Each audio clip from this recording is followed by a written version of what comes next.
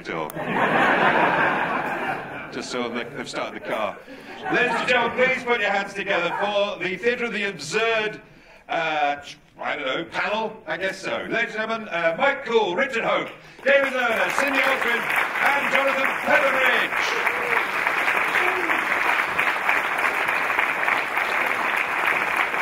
And sharing the entire smooth operation, the one and only, the delightful, the delicious Kevin Jon Davies.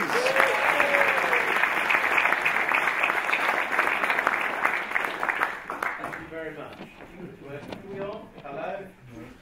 I've got the purple one. So, here we have, working from the far end, Mike Cule. Resident Vogon of this parish, uh, and also came and played Mr. Prosser in the illustrated Hitchhiker's book. The big, anyone got the big silver book? Yeah, yeah, there he was in there. So, Mike, I've, I've employed you several times as a Vogon. And the making of 30 years in um, from the rainbow version is where we first met, and I encased your head in green latex as, as mask maker. and then Cindy Oswin.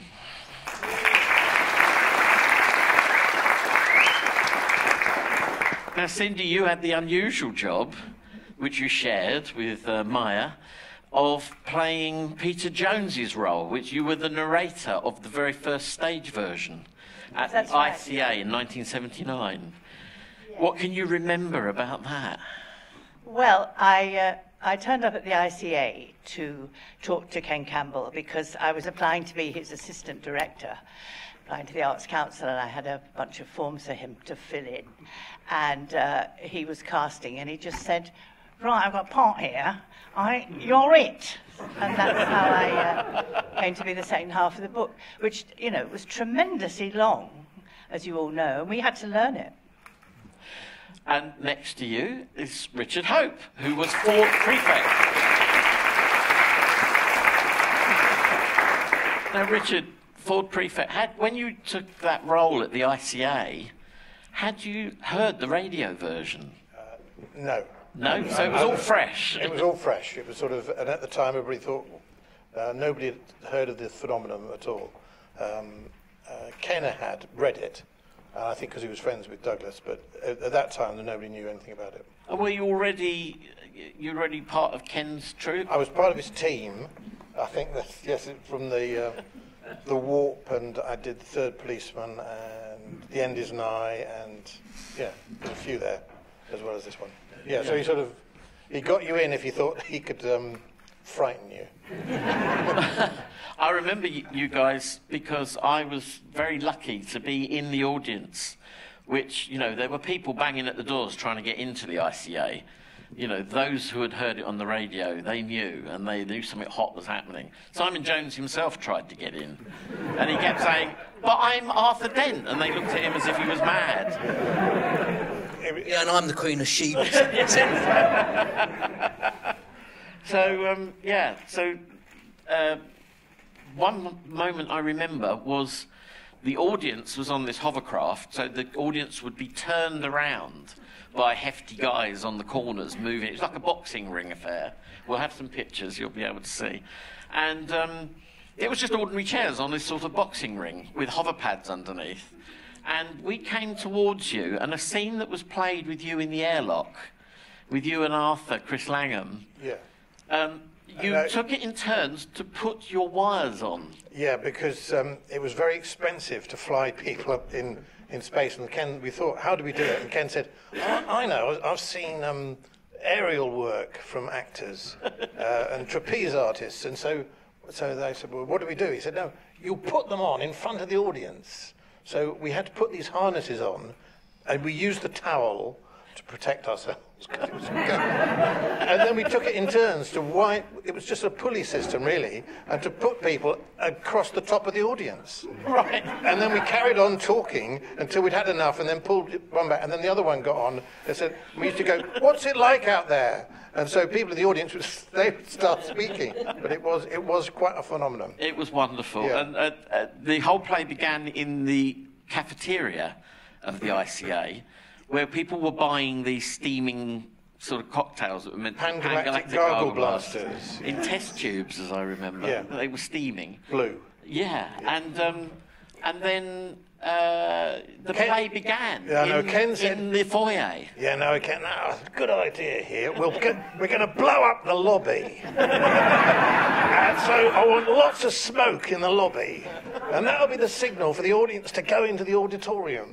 and they'll get a pangalactic gargle blaster, which you stood there with a tray of these things. So people were quite inebriated by the time they got onto this. Um, and then I said, so what do I do? He said, oh, Ford Prefect. And he talked with Douglas Haddon and said, you just have to smile all the time like you do.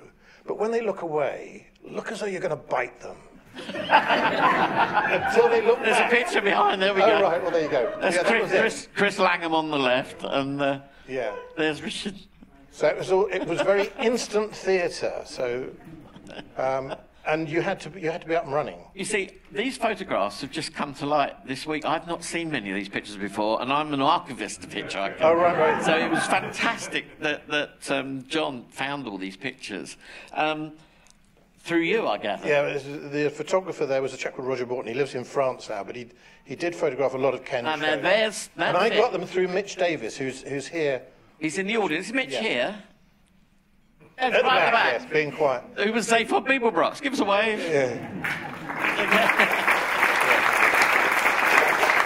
one half, one half of Zaphod Beeblebrox. Yeah. For indeed we had a pantomime of Zaphod, didn't we? Yeah, well, and Ken didn't. He used to say to Mitch, or to Stephen Davis, who played the other half of Zaphod, make it difficult for Mitch. and so, he, he- and I heard it. I heard Ken say things like, "As you're going up the ramp, uh, Mitch, try and get up the ramp," and then he'd say, "Stephen, as Mitch is trying to get up the ramp." Don't want to go up the ramp. And so the beginning of this scene, when they started talking, it was for real. They were trying to go up, and they, it was. Well, the version I saw, on Yeah. the night I saw it, they fell over. Yeah, and I, yeah. And I don't know whether that was deliberate. No, or- no, I caught them a few times. Yeah. You never get away with that now. And there's Trillian at the back there, which is Sue Jones-Davies. Yeah. Oh, Cindy. Ah, there's Cindy on the right, Maya on the left. Now, that's what happened out in the foyer. When the Earth was then about to explode, the two space girls come out and invite us to be rescued from the destruction of the Earth. And we all went into the theatre, the audience all filed in with you, you two like sort of space, you know, hostesses. Well, you, you really, yes, it was necessary to actually guide people because they had had the pangalactic gargle blasters.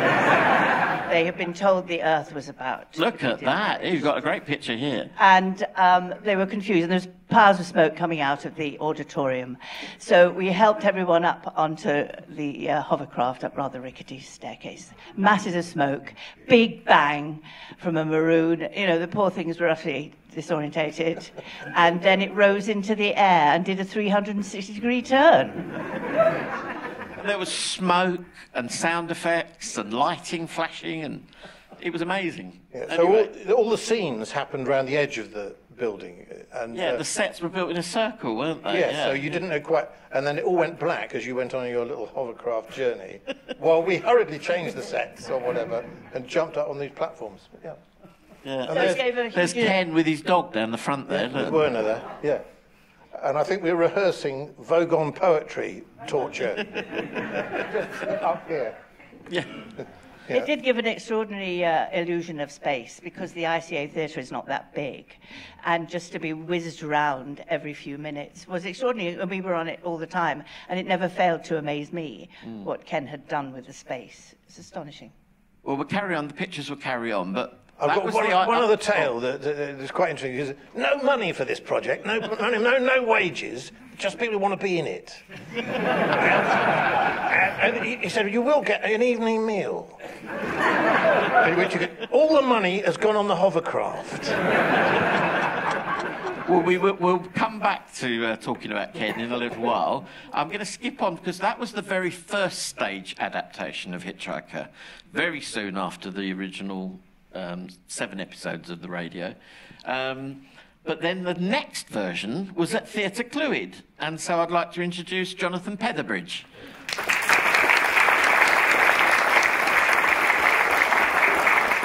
Now, Jonathan, you took all six episodes and you performed, you changed it into a theatre piece in your own way. Can you tell us about that really early version of the Theatre Clwyd version? Yeah, it was a mistake, really.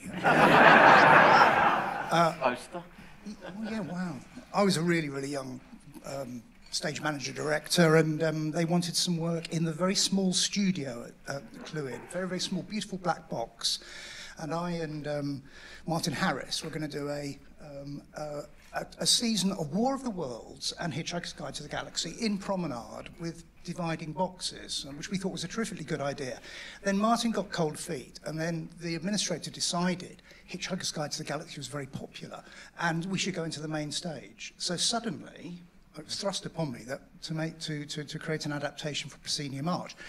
And as you're saying, it it's a very, very inspiring piece. It has a lot of space within it. That's not a pun. There's a lot of there's a lot, there's a, there's a lot of gaps for, for, for invention and stuff. And like you know, like you, um, I mean, I, one I remember is the the moment when I mean, you you start. We started with a doll's house and an actor and a, a model a bulldozer and the, the voices of, of, of the Vogons. It was a model like a Tonka toy bulldozer, but it was the most, know, the fantastic sound effect of a real bulldozer. But it was a bit- the juxtaposition was hilarious. It's extreme, extremely poor theatre, if you like, in, in, in Brechtian terms. And then we, we went to a huge uh, machine in the auditorium that blew smoke and, and stuff onto the audience. And then, um, and, and then the, we cut to them dangling in space without towels to protect themselves, I'm afraid. But similar to Ken's version. Um, there was another moment in it where it went from on stage uh, with Zaphod and, and, Mar- and Marvin and Trillian uh, escaping and running out of the auditorium, similar to here, and then you would see a film of them in the bar again, stopping for a drink, then going into the car park, hijacking a car, and then you'd go back on stage and you would find them sitting in a small Mini. I think it was a Mini, or was it a Fiat 500? And then that, and then we blew that apart with an inflatable which was became the Bugblatter Beast of Traal. I mean, this was at that time that was was, was incredibly innovative and, flu, and fluid and and quite, I think, actually quite beautiful as well. As I was saying to you, one of the things I want to say is that I find some of the writing and, and listening to the first series was a very beautiful thing. It, it is extremely funny, but also there's an aesthetic to it that is that is is quite gorgeous and very surprising. When you didn't know the gags, when you didn't know what the answer to the, the question was, it was really you, know, you tuned in every week to hear what was going on, and that you know that. And your Marvin was our other guest, David Learner.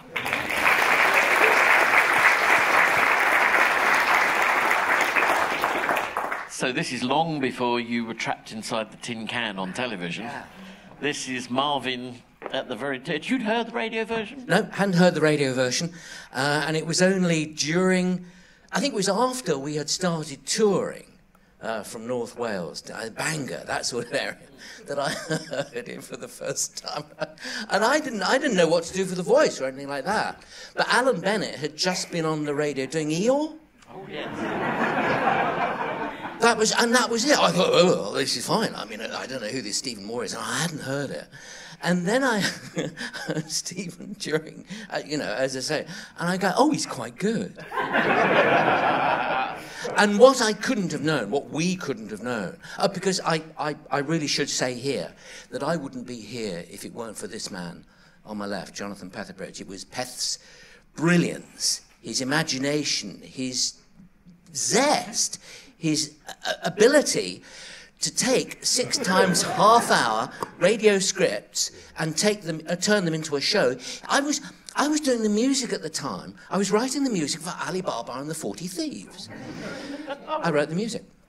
And um, it was good.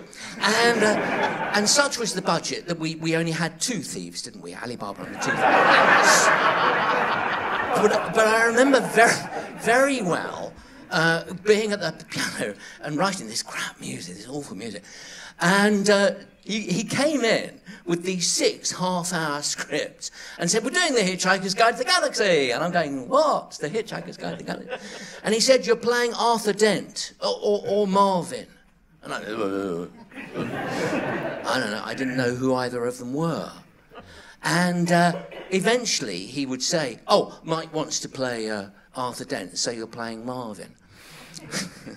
and we, we did the we did the read through 1979 this was christmas 1979 and sue elliott who played trillian we did we, in, in the, the, the theatre Clwyd green room. And um, I, I, said that first line. Oh, i think you ought to know i'm feeling very bad and sue went hooray great crowd. You know i had no idea what, what, I, what i had just said. When we came to play Bangor, the, the, the theatre erupted. And I, I think I would have, And I literally looked round to see who else had come on. Because I thought that something was funny was happening. And had no idea that what I had said would still be talked about 42 years later. That's where we are. Very good. Well, uh, quite right. Stephen Moore yeah. had exactly the same response, or rather, the audience responded the same way to that line. His very first line, I think you ought to know. Um, at the 2008 um, 30th anniversary performance of episode two at the Royal, Ge- Royal Geographical Society, um, and he hadn't realised and I, we, we do have a video of it, but I don't think we got it today, unfortunately. But it was um, his smile just grew when he realised that one line lit up the room. Everybody loves Marvin. It is, it, it is extraordinary. You're going to have to do it later, obviously, um, because we're doing the episode two again. We are doing episode yeah. two again. It's a good one because it's yeah. got everybody in it. yeah.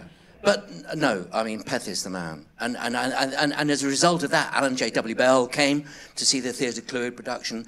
The, the BBC were, were scouting around. Yeah. And I was eventually asked to audition for the TV, but that's the TV. We'll get on to the rainbow yeah. in, a, in a moment. But, um, Jonathan, you got any memories of those earliest shows? Any actual things in the performance that the, still um, stay with you? The theatre car park at Bangor, where we opened uh, we divided the, the, it into three parts, so you had to come over three evenings initially. And our designer, Paul Condras, was very ambitious. And the, in the car park after the third night, you saw most of the set. Most of the set had been ditched.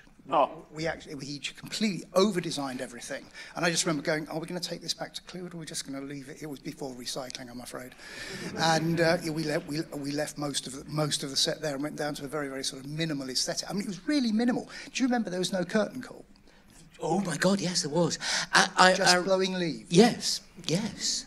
And, and, and we left them wanting more. Well, the auditorium was empty at that Point.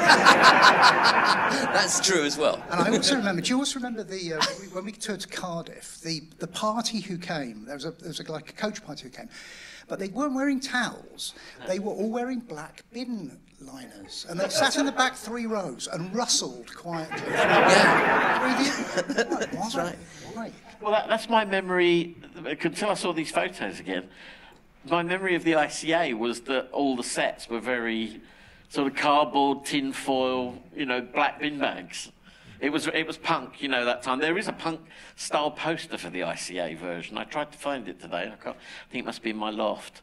But it wasn't punk in North Wales. No, no. well, that's quite that worked. I, I, I, do remember. I mean, I so full credit for getting on at Clwyd, but I do remember sort of Douglas saying that um, to Ken, "Here are the scripts. I don't think it will make a play."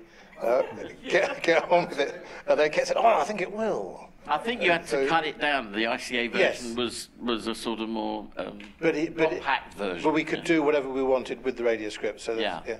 And I think the reason the radio scripts work on stage was because all you needed was imagination. Yeah. Uh, And you a know, towel. And a towel.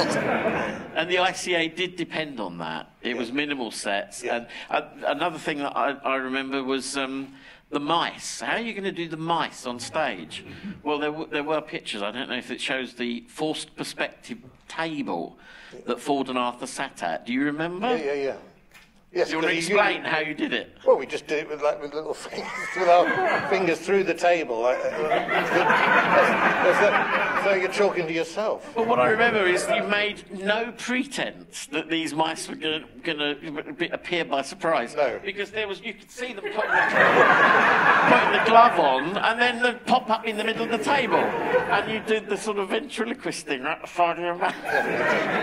It was lovely because it just took the audience with them. You know, that's what I Yeah. enjoyed. Now, I didn't get to see the Clwyd version until you toured some months later. We're going to skip over the rainbow for a moment. You toured it again in, I think, late 81 Well, or early I think it was. 82. A, I think it was a year later. You disagree? I don't know. I remember 82 was Plymouth. I thought it was 81 because I just. I've got- probably got a document on my computer at home that says the actual date, and I should have done my homework. I yeah, we, we sort of compressed it into one long evening.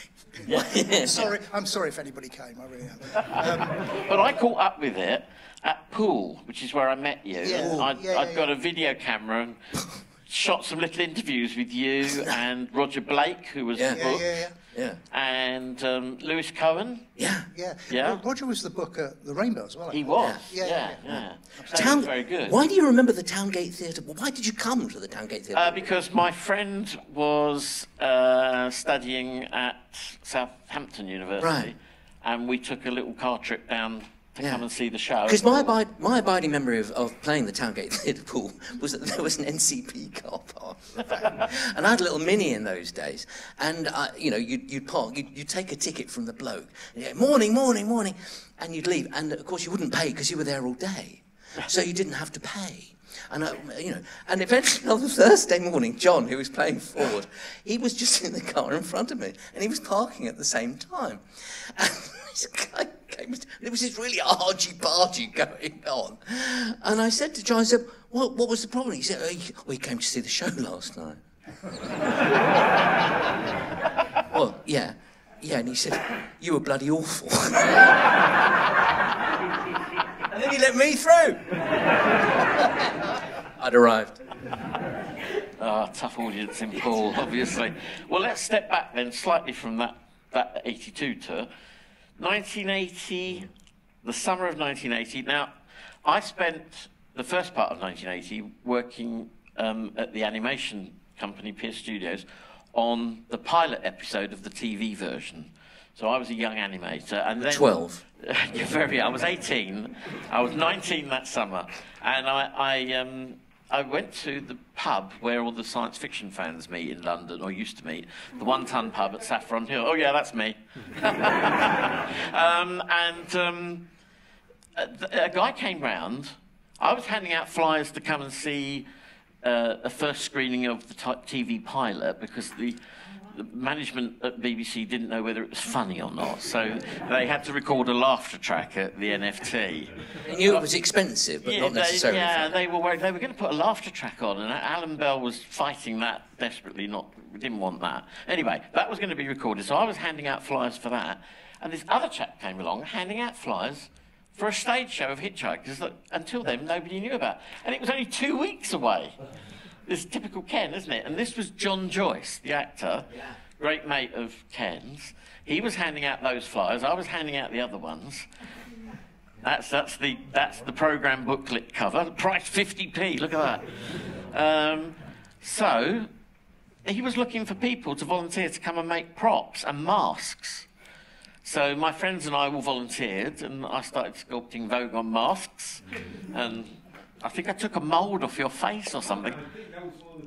Yeah, it didn't look like you in that picture. But Um, they, definitely with my face was dropped, dropped by the, TV scene. Yeah. I don't remember I don't know. I think I think it was more. I think it was more primitive. Yeah, it was. It was. It was almost like a rubber rain hat that you pulled on with elastic chin, chin strap or something. But your costume was inflatable. Wasn't Yeah, it was. It was. Uh, it, it was basically a series of balloons outside my body. They were still putting it together and gluing it together when I went on on the first night. Which tells you something about the Rainbow Theatre. What I did like was they had this uh, sort of big curved.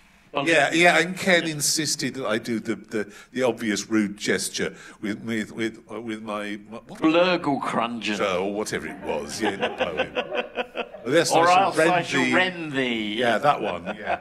And they I, th- I thought it was a all little. wobbled their ver- blurgle yeah. crungeons. I'm not proud of having been an actor. No.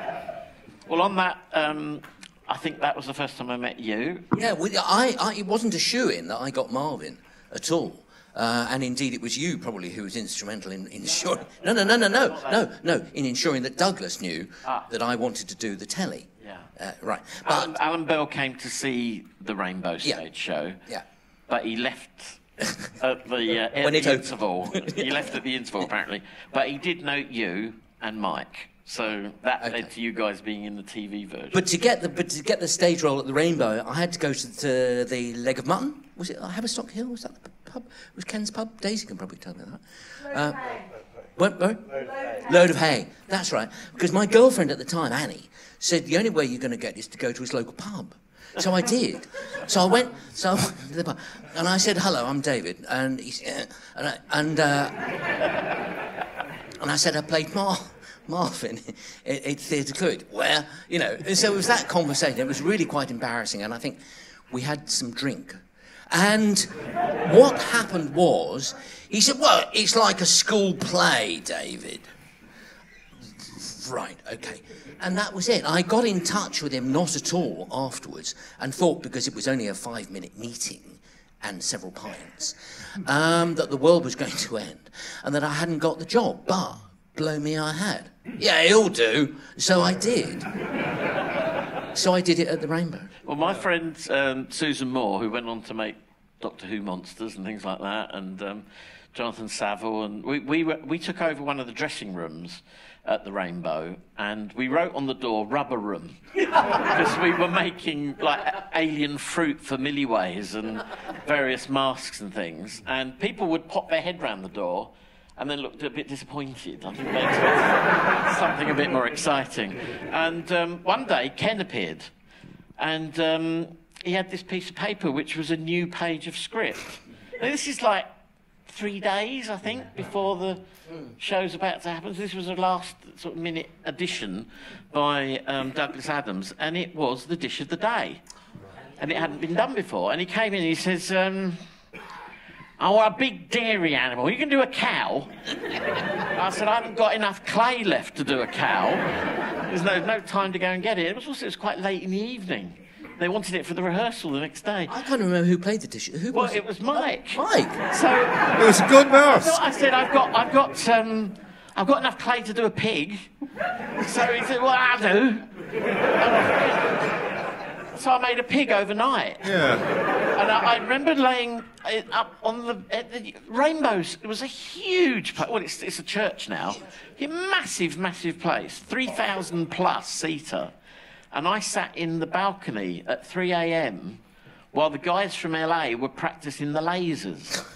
So I was a bit spaced out and tired anyway, because it had been like long nighters. And the laser was going all over the ceiling, which was dotted with lights like stars. And, uh, and that's an enduring memory I had of that. The next day, Ken comes in again. I want a Vogon bum. what?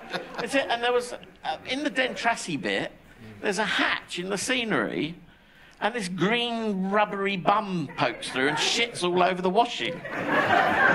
Dentrassi had their laundry hanging up. And it- nobody knew what it was because it looked like a monster or something. But it, anyway, Jonathan Saville made it overnight again.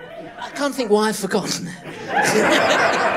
Well, I operated props for a few performances, and we had a, a big Coke bottle full of, I don't know, some mixed up crap that we fired through this Vogon. But it had like a distended anus coming out from between two big green cheeks. You've brought it all back. Yeah, well- um, but I, and I do remember Mike being uh, stitched into it because I was being welded with Yeah. a, a, a, a soldering gun uh, a- a- as we went on. But You were all silver. You were We were- completely silver, weren't you? Silver, Skin and everything. yeah, Yeah. and um, and what happened was in like t- 10 20 minutes in new f- scenery arrived didn't it on the first night Surprise. The first night it was was the most horrendous. Well, not the most horrendous. That was the, doing children's theatre, but second, second most horrendous thing. We Yes. we were doing the entire length of Yes. the series um, as as our script. Nothing had been cut. nothing added nothing And, taken off. and and and things, as I say, technically speaking, we were running the second half of the show without having had a tech run through. And in the second half of the show, those lasers represented the destruction of the universe. So we did the, te- the destruction of the universe without technical rehearsal. and it got to the middle bit, and somebody had hired this, this rock group to be the band at Milliways during the interval. They were only supposed to be on for 15 minutes. 25, 30 minutes of their of their gig. Well, it were- You, you were obviously far too busy trying to remember what you had to do. well yeah, what, what, how ti- what time did we get out of the theatre then Gone, gone, gone. Eleven thirty, I think. But the the thing was because it was at Finsbury Park in those days, the tubes didn't run that late. And about halfway through the second act, people started looking at their watches oh, and getting up and going home, and which is sad because they all they they had filled the theatre and they all knew the script better than we did and chanted it along at us. But uh, uh, but and then the next day they cut the, the cut the script, and but that was what it was reviewed on, and that was why. What was the uh, the, the, the review? Oh, uh, Mr. Mr. Adams has charted his uh, travellers into a black hole. Was the, the best review I think we got, and and uh, and in, we never filled the theatre after that. No, And we it did- was it was due to run eight weeks. I think it says it there, but um, well, it says limited season, but um, it ran four weeks. that long. Oh, Now God. with a three thousand plus auditorium outside of the West End.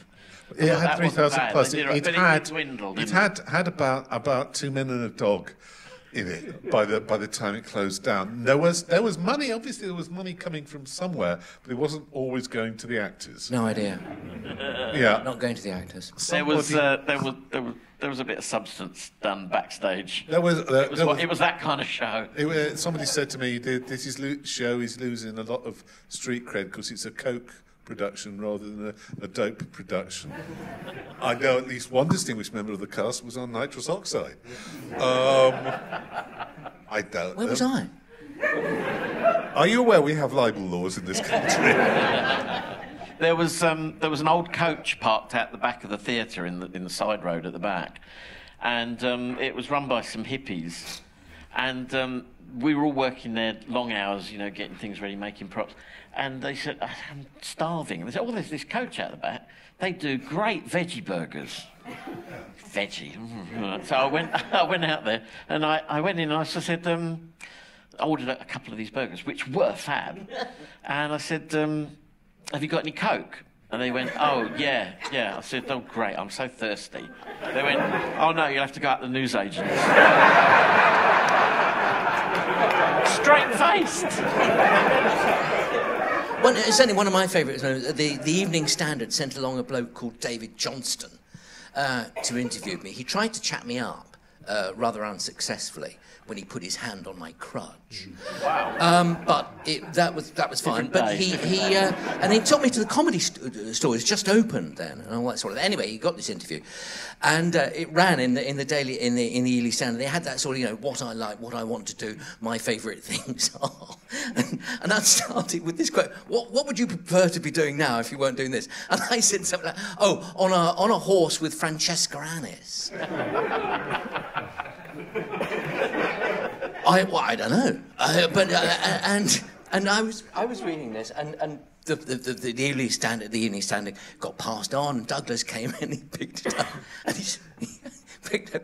Oh, there's a bit about you in here. I said, oh yeah, yeah, I, like I didn't know. Oh yeah, what's it say? say about this this Francesca Annis. Oh right. Oh, do, do, do, do I come over well? He said, no, you come over like a wanker. okay.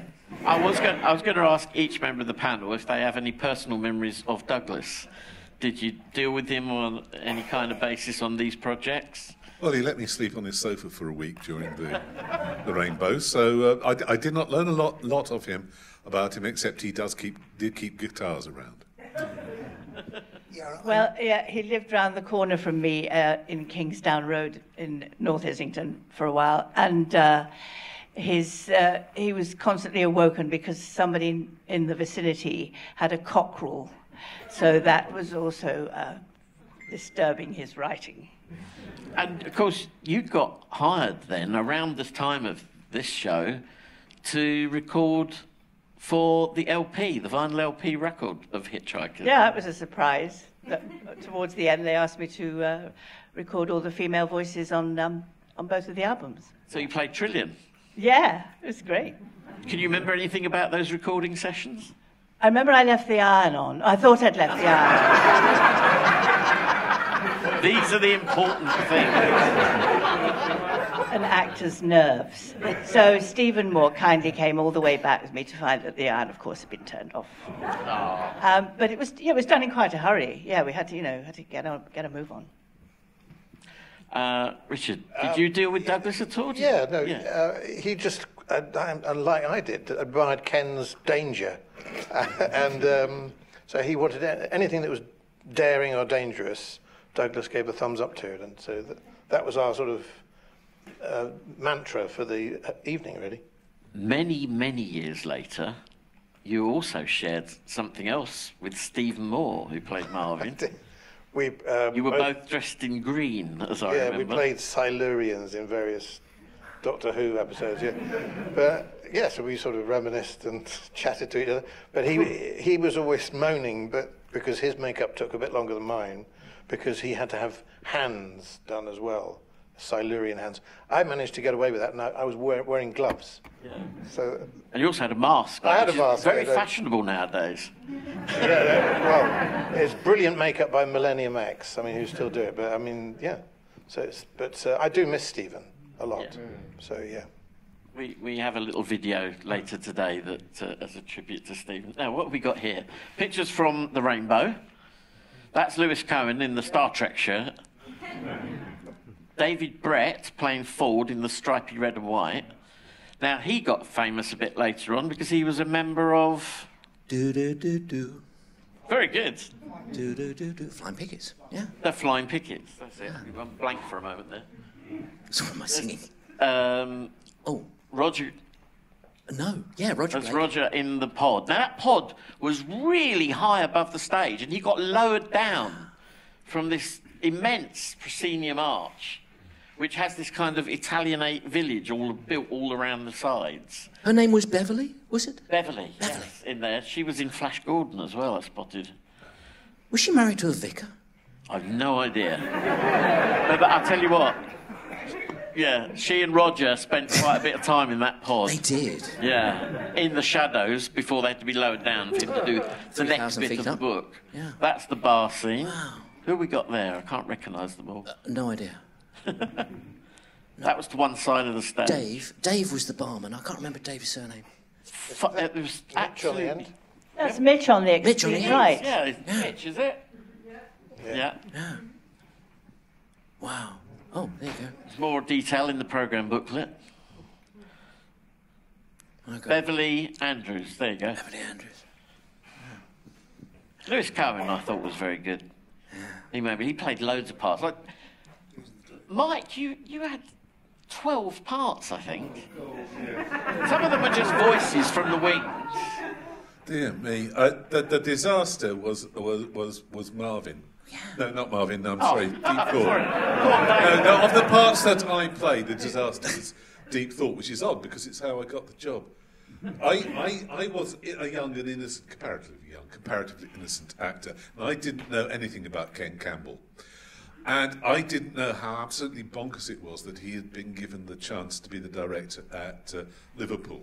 And let's, it was fairly bonkers. So I went. To, I wrote him a letter saying, "Would you? Would, I, you're casting the. Um, you're casting the season. Could I come up and audition?"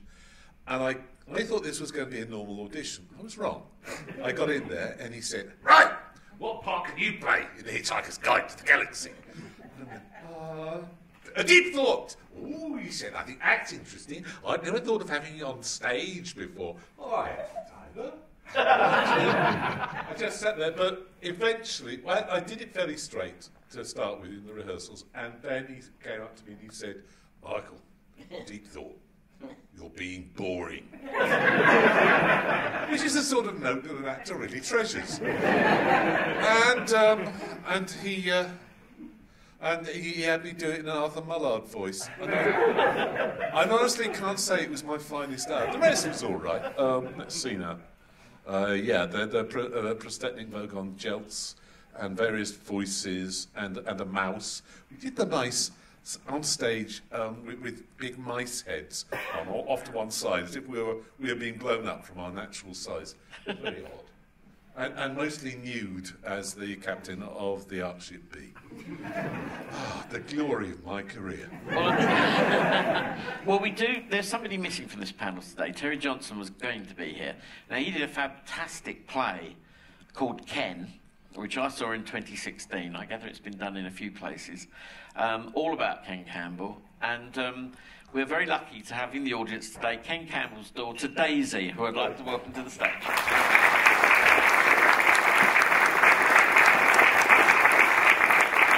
Okay, next we're going to have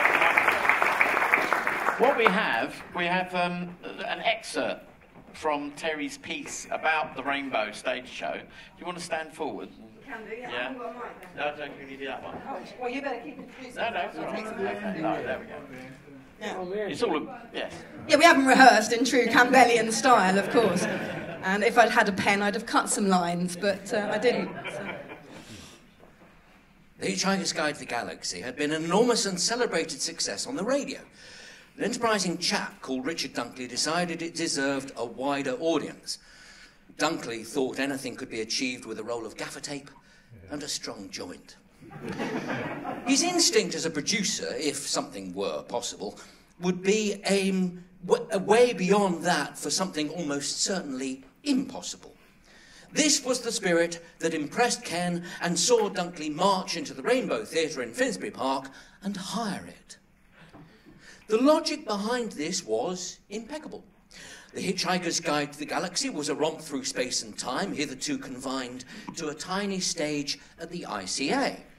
Conversely, the Rainbow Theatre was the biggest auditorium in Greater London, thus more closely resembling the universe. I should have smelled a rat. There were two weeks into rehearsal when Ken called me. I should have sensed the way the wind was blowing. John Joyce wasn't going to be in it. With the wind in that direction, I should have smelt that rat. Ken liked things to be free, in every sense of the word. Not because he was mean spirited, but because he had an increasing body of work behind him that was, at its best, when produced in penury. It's money that fucks it up. You have to account for it. Every time you spend something, you owe someone else a fee for something else. And people start moaning. If he's got a wig, why can't I have a bus fare? As soon as you put money into the equation, then there's not enough of it. It's like being there, I have to say. I lived it, baby. Very receptive. For Hitchhiker, Dunkley had raised a shitload of money. The Russian gangsters looking for UK investment thought they were getting a rock gig. It was obvious as soon as I entered the desultory church hall that the show was in trouble. Ken's A team had deserted him for the National Theatre and the telly. Around the edges of the room were a group of aspirant souls who, with a couple of honourable exceptions, were well out of their depth. I want you to play Zaphod Beeblebrox. It'll suit you. He thinks he's the hero, but he's not.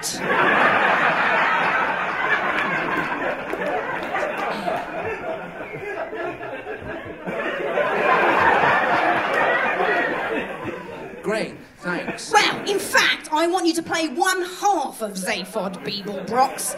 This is Doug. He's playing the other half. A dour Canadian nodded at me, dourly. Doug's used to being at the front, so you'll have to go at the back and put your head over his shoulder. A Zaphod Beeblebrox had two heads. We haven't got the two-footed, two-footed boots yet, but when we do, it'll be much easier to walk. It wasn't. Terry, is it? Oh, hi, Doug. How's it going? You're my third other head so far. said Doug's head. It wasn't an easy part to play. And Doug was at the front. He got all the best lines. Ken and Richard had gone all out and hired a very illustrious designer who had gone all out and designed a transforming sculpture of a set to fill the enormous rainbow. It's complete rubbish. And we can't afford it, which is an advantage, because it's complete rubbish. so Dunkley set about designing it himself. There was a scene on the moon. He designed. I don't remember that. He designed a long crescent-shaped bit of scenery that lay across the forestage from wing to wing. R Richard, what is that? Uh, well, I thought the moon should be made of cheese. So that's the rind.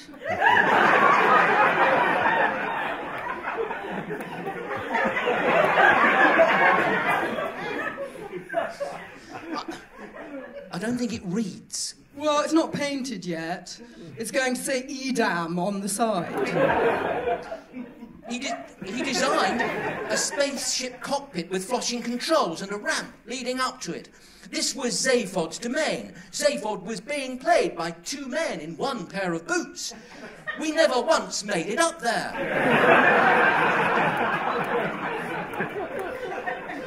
There were lasers that bounced off tiny mirrors in the auditorium and formed a geometric representation of the prow of a spaceship. Another ladder was Laser. That's a typo. Another ladder, okay, quite right. that ladder was rigged to create a cone of light pointing down at the apron through a cloud of stage haze. Right, Ford and Arthur stand on the apron. When that laser goes off, I want you to jump. Jump? Yes, jump. Jump where? Into the orchestra pit. The what? It's in front of you, just step off. Have you seen the clock? Ken, it's about ten feet. Yeah, well, that's why those mattresses are there. Are you men or mice? Jump! The lights went out. They jumped. Jesus! Boing. Christ! Ow! Lights up! Sure enough, Ford and Arthur were nowhere to be seen. Ken was ecstatic. Yeah, fantastic! Yeah, that's a first class example of great theatre craft. The ingenious juxtaposition of a 3,000 watt diode laser and an old mattress. Any year now, they'll be doing it like this at the National. On the opening night, nigh on 3,000 people turned up. All of them overweight men between the ages of 17 and 34. Far out in the uncharted backwaters of the unfashionable end of the western spiral arm of the galaxy lies a small, unregarded yellow sun. 3,000 people raised the roof. The curtain had risen at 7.30. By 10 past 8, we had run out of scenery.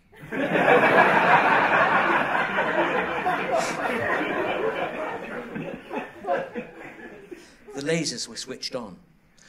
But the circle was cantilevered, designed to shift a couple of inches when full. This it had done and shifted the mirrors with it. The lasers failed to create anything resembling a spaceship. But they did shoot out a random matrix of green, meany laser beams, bouncing off handrails and chandeliers, potentially blinding anybody daft enough to look at it. It was an audience of sci fi enthusiasts. Most of them risked it. Fantastic.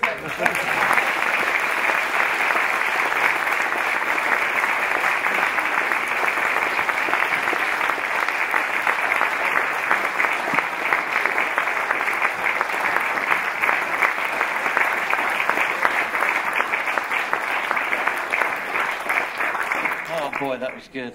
Thank you for that, Daisy. Um, one thing I remember about, I mean, health and safety wasn't in it. That's, that's the, the laser beams went everywhere. Does anybody else want water? Yeah, you want one, yeah. Um, what I remember was they had a huge inflatable whale, which was incredibly heavy. I mean, it was massive. That, uh, that's my one. You know, ger- germs and everything. You know, nowadays we're all being backstage. Everyone was sort of touching elbows and all that kind of nonsense. Um, but anyway, there we go. Anybody else? Okay. Uh, anyway, this whale.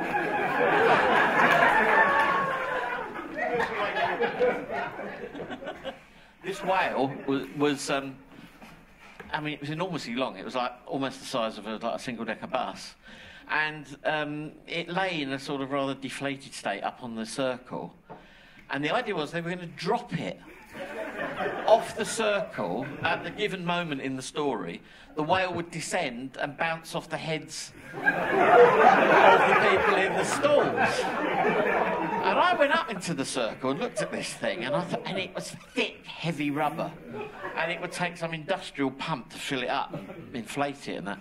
And they decided that against it because it would have probably broken several people's necks if it had landed on them. Um, like channeling Pink Floyd here. well, something like that. In the, in the end, I think they had a much smaller inflatable they dropped on the stage. But this thing was enormous, and so they decided, well, they couldn't waste it. They'd got it from somewhere, Greenpeace or something. They, they put it on a truck and they took it down to Tower Bridge and threw it off.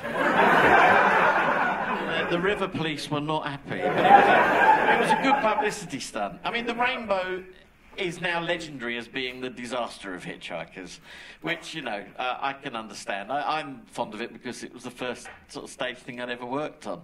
Um, but you know, like, you can't deny that it was uh, it was definitely Jonathan's version.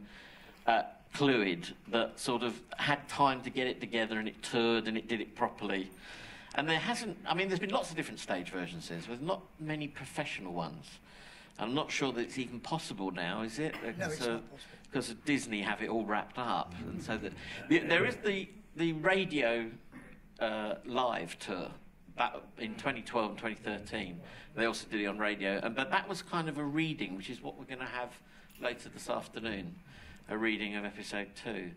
Um, but anyway, fond memories. Um, I don't know if we've got enough time. There's a three-minute clip of the rainbow um, with subtitles because the sound's not brilliant. It was just shot on video at the back of the stalls. So if the tech team are ready, the owl got the thumbs up there, we can have a three-minute clip of the rainbow. Just over three minutes. Right, is there somewhere we can talk? Well, we've got to talk. Fun, talk, and drink. Vitally important that we talk and drink. Look, what's the matter with you, Paul? That man wants you on my house now. Well, he can do it while you're away, can't he? But I don't want him to. Ah. Then what is the matter with you? Listen, Arthur.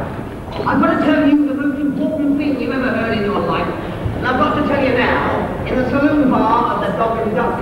Why? Because you're going to need a very stiff drink. So what you're saying is that I write poetry because underneath my mean, callous, heartless exterior, I really just want to be loved. Is that it? Well, I mean, don't we all deep down? No, you're quite wrong. I just write poetry to throw my mean, callous, heartless exterior into sharp relief. I'm going to throw you off the ship anyway. I've been ordered to take you up to the bridge. Here I am, framed inside the planet, and they tell me to take you up. Call that job satisfaction. Because I do. Good God, it's her! Tricia McMillan! What are you doing here? same as you for I hitched a ride. After all, with a degree in maths and another in astrophysics, either that or the dole cure Monday. well, what else can a poor girl do under a Tory government?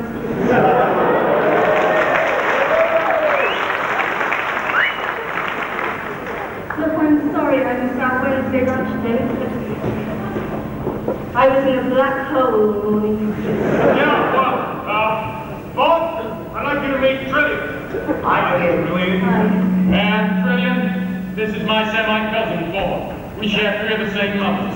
Hi, Trillian.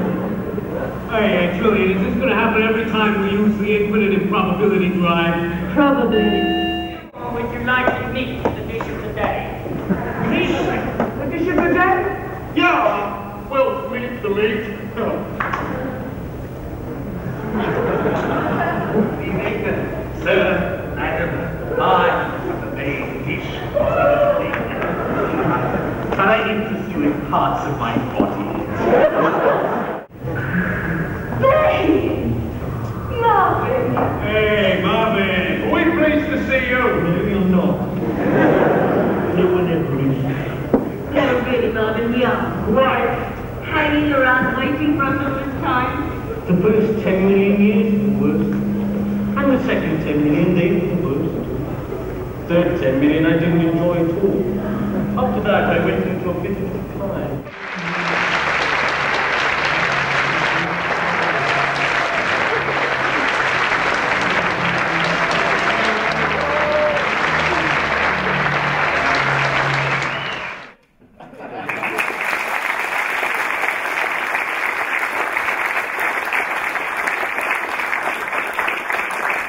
Uh, i- interesting, I'd forgotten how much our national tour uh, learned from the Rainbows disaster. And it was your epic idea to put deep thought at the front of the show. Yes. I was just asking backstage about that. Um, the the um, the deep thought sequence has always been quite a long stretch, of very Yeah. similar, isn't it? It's quite heavy going. So um, that was a great idea to put the first half of deep thought right at the very beginning. Yeah. And there are other shows that have done that, I think, since. I need to get the scripts out again because the, the, how they change and how they evolved, I think, are probably is possibly quite interesting. You asked earlier about Douglas meeting meeting Douglas, and um, I met him a few times, and I was so arrogant. I was suggesting, I was, I was sort of saying to him what was wrong with his radio series. what he needed to cut and short. I mean, absolutely stupid. He didn't. I don't. I'm not sure what he thought about theatre. Quite honestly, um, he sort of, uh, with, our, with our version, he sort of went, "Okay, do it if you must. You must do it like that. Do it like that." And then he came to see it. He quite enjoyed it. Oh, yeah, he was in awe. He really was in awe. That's not what he said to me, Dave. That's not the note I got. Yeah. And the other, and, and also to Ken as well. I mean, when I, when, when I went to see Ken at, when, at, at Liverpool, and I had a long conversation with him about doing, doing us both having done it. And the conversation was actually quite a serious conversation about the divergence of the literatures. the, uh, the idea that science fiction is a very, very serious um, form uh, that in a way has been slightly marg- was marginalised around the sort of 40s, 50s, and has never really properly been taken seriously, even you know, despite Arthur C. Clarke and Vonnegut and people like that. And, and I remember that. And, that, and that, that, that thought has always been quite important to me. What he actually said was that if you think about it, all literature is just people coming in and out of doors. Whereas science fiction is everything else. Very good.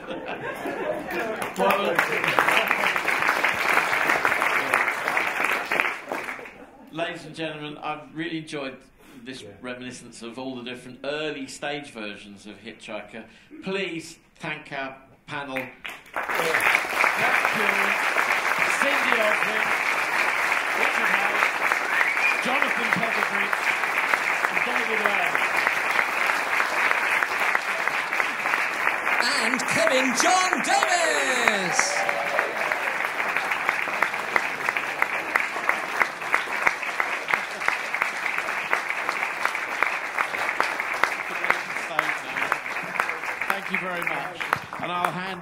to Toby Longworth. Thank, you. That's, uh, that's, fantastic. Kevin, uh, no, Kevin.